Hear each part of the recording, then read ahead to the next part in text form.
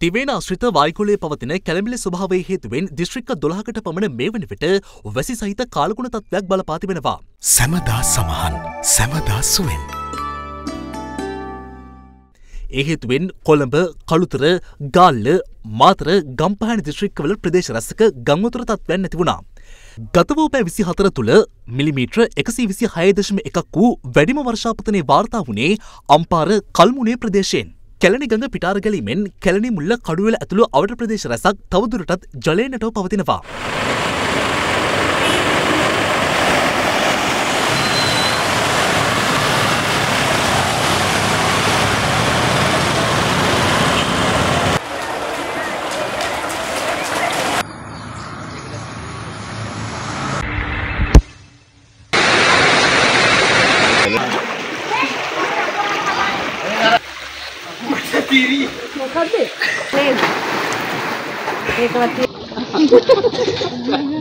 Udah kau ini kok, saya pagi dah.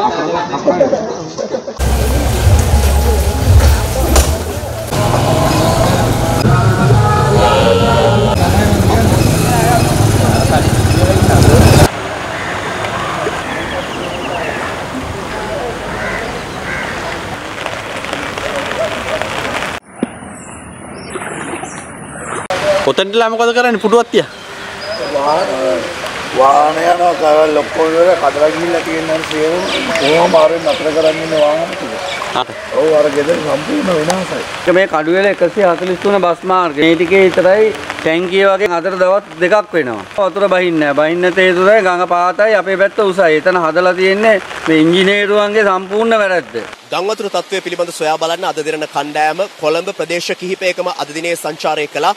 ඒ අනුව මේ වන විට අපිට ඇඳිලා ඉන්නේ මල්වාන ජඹරලුව ප්‍රදේශයේ. මේ ජඹරලුව ප්‍රදේශයේ ඊයේ සහ පෙරේදා දිනේදී දැඩි ගංවතුර තත්ත්වයක් පැවතුනත් මේ වන විට එම ගංවතුර තත්ත්වයේ පහව යමින් පවතින බව තමයි ප්‍රදේශවාසීන් අපට සඳහන් කළේ. කෙසේ වෙතත් මේ වන විටත් මේ ප්‍රදේශයට දැඩි වර්ෂාපතනයක් ඇද හැලෙනවා. ඒ අනුව අද පස්වරුවේදී මෙම තත්ත්වයේ යම්කිසි වෙනසක් අපේක්ෂා කිරීමට පුළුවන්.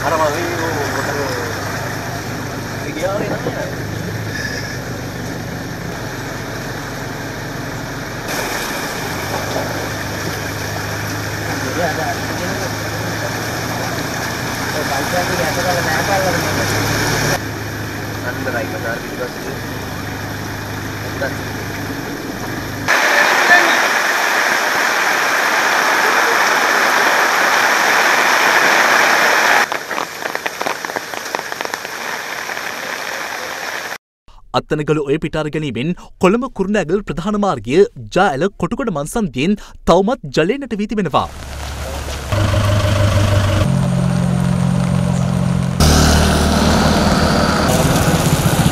කෙසේ වෙතත් ගම්පා නගරයේ පැවති ගංවතුර ක්‍රමයෙන් බැසයන ආකාරය අද දැකගත හැකි වුණා.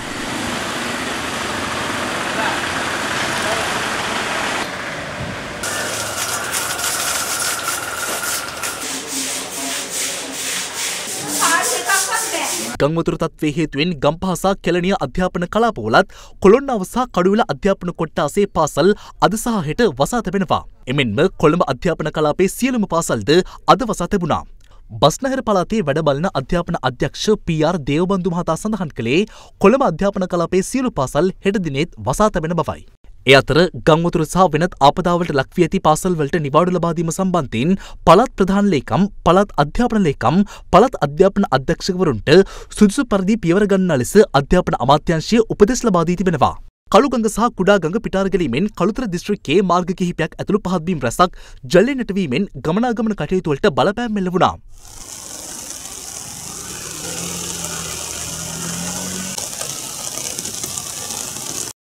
අයහපත් කාලගුණෙන් කළුතර වස්කඩුව ප්‍රදේශය බලපෑමට ලක්වති ආකාරයයි මේ.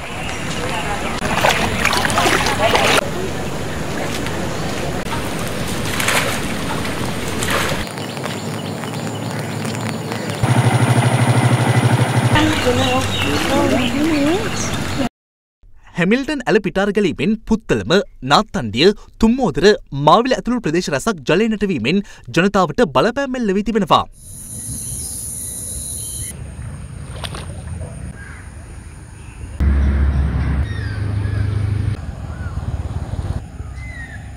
ගංවතුර තත්වෙන් පීඩාවට පත් වූවන්ට සහන සැලසීම වෙනුවෙන් ශ්‍රී ලංකා යුද්ධ හමුදාවෙන් සහ නාවික හමුදාවෙන් සහන සේවා ක්‍රියාත්මකයි.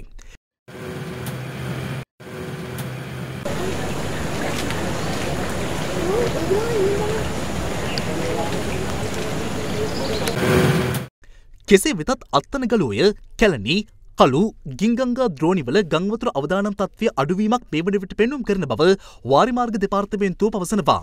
විශේෂයෙන්ම සඳහන් කළ යුතුයි මිලිමීටර් 100කට ආසන්න වර්ෂාපතනයක් ලැබූ තිබුණා ගිංගංගා ද්‍රෝණියට ඒත් සමග යම් ජල මට්ටම් වැඩිවීමක් ගිංගඟෙහි අපේක්ෂා කරනවා ඉදිරි පැය කිහිපය තුලදීත්. සියලුම ගංගා ද්‍රෝණීහි ජල මට්ටම් දැනට සැලකිය යුතු ඉහළ මට්ටමක පවතින නිසා ඒ පිළිබඳව ජනතාව තවමත් දැඩි සැලකිල්ලෙන් කටයුතු කිරීම අත්‍යවශ්‍ය වෙනවා. මේ අතර ජාතික ගොඩනැගිලි පර්යේෂණ සංවිධානය කොළඹ ගාල්ල ගම්පහ කළුතර කෑගල් හා රත්නපුරයන් දිස්ත්‍රික් හය සඳහා නිකුත් කළ නායම් පිළිබඳ පූර්ව අනතුරු ඇඟවීමේ නිවේදන තවදුරටත් ක්‍රියාත්මකයි.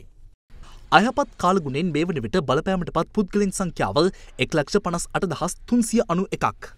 පවුල් 40516ක් පීඩාවට පත් වෙලා තියෙනවා. පුද්ගලයන් 158391ක් පීඩාවට පත් වෙලා ඒ අය අපේ සුරක්ෂිත මධ්‍යස්ථාන 79ක පවුල් 2470ක් ආරක්ෂා සහිතව අපි බලා ගන්නවා මේ මොහොත වෙන විට. අද රාත්‍රියේ මෙන්ම හෙටත් දිවයිනේ දිස්ත්‍රික්ක කිහිපයකට මිලිමීටර 100 ඉක්ම වූ තද වැසි ඇතිවීමේ හැකියාවක් පවතින බව කාලකුණ විද්‍යා දෙපාර්තමේන්තුව සඳහන් කරනවා. අද රාත්‍රියේ සහ හෙට වන විට මිලිමීටර 100 ඉක්මවන වැහි ලැබේවි කියලා හිතන්න පුළුවන් වායුගෝලීය තත්ත්වයක් තියෙනවා. සැලකිය යුතු මට්ටමකින් වැස්ස අඩු වෙන්න නම් 16 17 වගේ දවස් විය යුතුයි. ඒ අතර ගිනිකොන දිග බෙංගාල බොක්ක ආශ්‍රිතව අඩුපීඩන කලාපයක් අද නිර්මාණය වී ඇති බැවින් ඒ ආශ්‍රිතව අවදානම් ලෙස නම් කර ඇති මුහුදු ප්‍රදේශයට නැවත දෙනුම් දෙන තුරු යාත්‍රා නොකරන්නයි කාලකුණ විද්‍යා දෙපාර්තමේන්තුව නෞක සහ දීවර ප්‍රජාවට දැනුම් දෙනවා.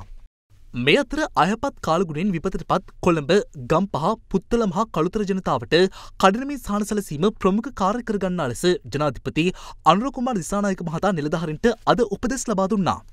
ඒ ආපදා කළමනාකරන සහ මුදල් අමාත්‍යංශ නිලධාරීන් සමග ජනාධිපති කාර්යාලයේ අද පැවති සාකච්ඡාවකදී විපතට පත්වුවන්ට කඩනමින් සහන සැලසීමෙන් පසුව දේපල හානි පූර්ණය සඳහා කටයුතු කරන ලෙසද ජනාධිපතිවරයා එහිදී උපදෙස් ලබා දී තිබෙනවා.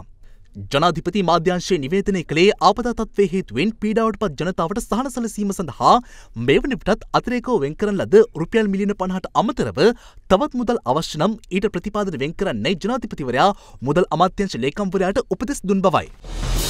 අද දෙරන YouTube නාලිකාව YouTube අද දෙරන දැන්ම සබස්ක්‍රයිබ් කරන්න.